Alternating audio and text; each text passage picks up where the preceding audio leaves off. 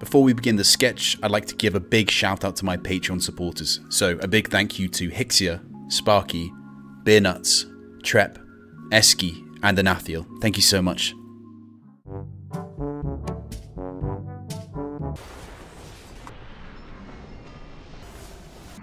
I'm in danger.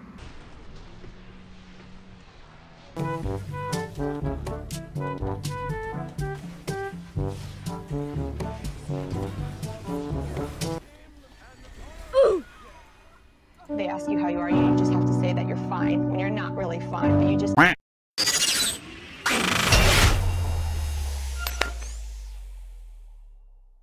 What's up gamers, it's TreeSap Jake here with yet another video and today's video is going to be my rated battleground guide for Elemental Shaman in patch 9.0.5. There's just a few differences with my main guide, my in-depth Elemental Shaman guide for Shadowlands that I just want to go over and I want to talk about especially with changes to conduits, especially with regards to talents and just general playstyle and legendaries of course. So let's get stuck in. One of the few changes that I just want to talk about that isn't in my in-depth guide is the swap from Earth Shield to Spirit Wolf. Now, one of the big things in Rated Battlegrounds is having a lot of mobility, being able to move around and get to places. In this, also, you also have three healers healing you, multiple healers and lots of off-specs and everything else. So in regards to self-healing, Earth Shield isn't as useful. In fact, instead, I switch over to the Spirit Wolf talent. Now, I'll just tell you what the Spirit Wolf talent does. Whilst transformed into a Ghost Wolf, you gain 5% increased movement speed and 5% damage reduction every 1 second, stacking up to 4 times. The damage reduction isn't amazing. It's pretty good for like if you wanted a kite and just let your healer heal you whilst you just remain very tanky. But the main thing is this movement speed. Now the movement speed allows you to get places very very quickly and it allows you to run off, peel off, go and help, get to places where you need to go. If you're in combat just get away and also if that damage reduction does help you not die I guess to affliction warlock dots which can sometimes if you don't have any dispel for it kill you as you run away and that's not great. So I switched to the Spirit Wolf talent here and I found that it is very, very useful. If you want to get the full lowdown on the talents that I use and the reasons why I'm using them, you can check out the in-depth Elemental Shaman guide, nothing has changed there. In terms of the PvP talents, I wanted to go over why I'm staying the same way here. One of your roles as Elemental Shaman is to stop Convokes, and in order to stop Convoke, especially when they're using Aura Mastery when no one can kick them, the only strong way to stop it is either CC, so incap roar, incapacitating roar, a stun, whatever. But if nobody's got one of those and the and the guy's really really far back, what you can do is press a simple button of grounding totem, and grounding totem seals all your problems. It lasts for three seconds, and that's about as long as a convoke. If you time it well, you should catch most of it. And if you're in the midst of your players, and as long as they're in range of the grounding totem, you should be totally fine. And that's one of the big advantages you have for bringing an elemental shaman into your rated battleground group.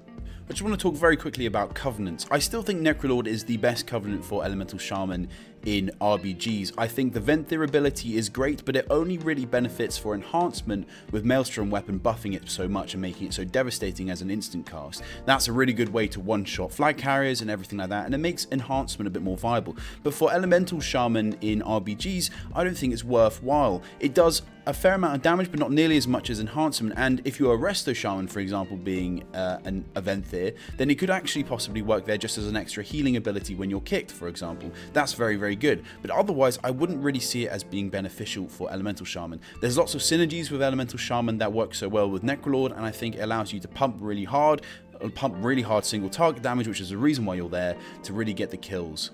So going quickly into conduits, these are the conduits that I would tend to run, and this is the reason why. So, first of all, Tumbling Waves is a big chance to reset Primordial Wave it's vital, really. And when you proc that, it allows you to spread your Flame Shock really easily. If you've got an, uh, an Affliction Warlock in the enemy team as well, you're going to make sure that Flame Shock is up on your main targets and up on the UA targets as well. You'll be able to tell where what's going on with that one, and you'll be able to keep your Flame Shocks up. With the amount of Dispels, though, going, it can be quite tough to keep Flame Shock going, but this allows you to at least keep it on the main target with an undispellable dot on there.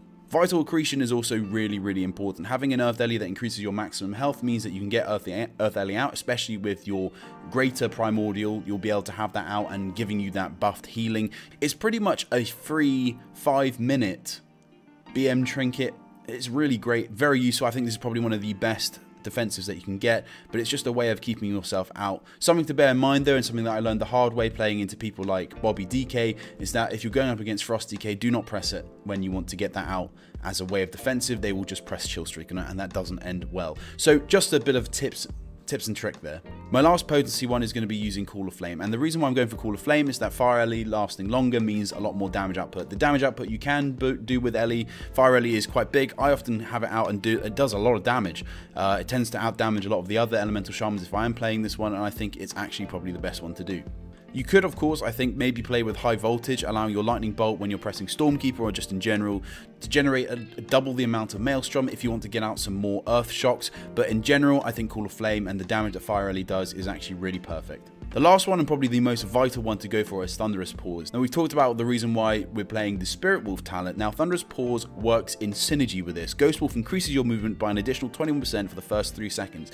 This allows you to jump away and get away from people very very quickly. Get out of the team fight, start speeding away if you need to. And obviously with the Spirit Wolf you'll have that decay happening though with the you know for, for Thunderous Paws and then you'll also have the increased speed and you'll get away and it'll make you fast. It allows you to get places that you need to go and allows you obviously you know you can't be slow below, below 100%. So you will be able to get away and you'll get to places before people can really slow you and then you'll be able to zoom zoom. And that's the main thing, getting places and having mobility. Stop, stop what you do right now and listen to me. Don't forget guys, if you want more content like this, please like and subscribe. That's click the thumbs up button, press the subscribe button and press the bell if you're feeling really generous.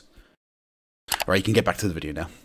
So we've talked about talents, we talked about PvP talents, we talked about conduits and your covenant. I want to now talk about legendaries. Now, I have been a very big advocate for Windspeaker's, Lava Resurgence, and I think it's a very useful ability that gives you a lot of utility and makes life a lot easier, especially when you're learning. However, for rated battlegrounds, you want to become a turret, and the best way to become a turret is by using Elemental Equilibrium. Now, the reason why Elemental Equilibrium is so great is because you've got that damage buff for 10 seconds happening every 30 seconds, and pretty much you can rotate it with Echoing Shock to either use it on your big Stormkeeper goes, with Lava Burst, or with the big Earth Shock now that we're 9.0.5 5, you can use this as a way to put out a lot of pressure. And for an elemental shaman, when you're competing with the likes of boomkins, competing with the likes of warlocks and stuff like that, this allows you to be competitive and really do a lot of damage. Wind speakers is still good, and I've used Windspeaker's all the way up to 2-3, and I don't think that's a problem. I think Windspeaker's is a great legendary. However, for this, and I think Elemental Equilibrium at this point is probably the better